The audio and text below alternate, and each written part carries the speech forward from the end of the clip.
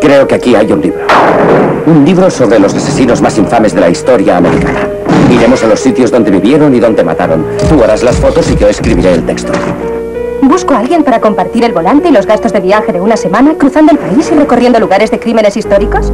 Brian, ¿quién en su sano juicio querría hacer eso? Early, dime más cosas sobre California. Allí la gente debido al calor piensa más deprisa, porque el frío atonta a la gente, es un hecho.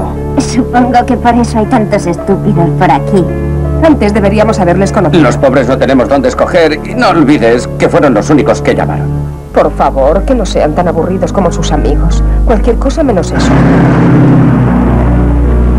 Debes estar bromeando. Si parecen unos indigentes. Oh, Early, parecen un poco raros. Por si acaso. ¿Qué culpa tienes si no le educaron? Me da un poco de pena. Te da un poco de pena. Qué enternecedor. Te has cortado el pelo. Me lo he cortado, Early. Dice que así estoy más guapa.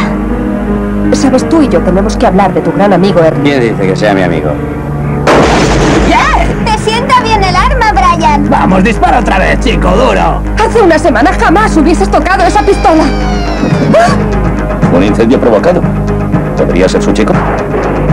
Se busca por todo el país a Early Grey. ¿Qué ha sido eso? Nada, Brian, solo ha sido un trueno.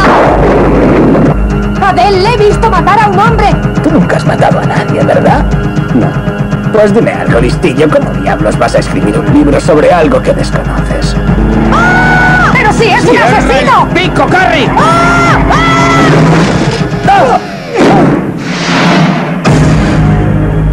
Brad Pitt, Juliette Lewis, California.